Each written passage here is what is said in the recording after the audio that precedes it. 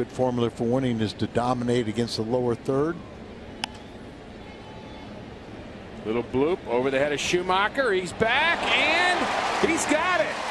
Skip Schumaker. That wasn't easy. How did he do that? He reverted back to his outfield days.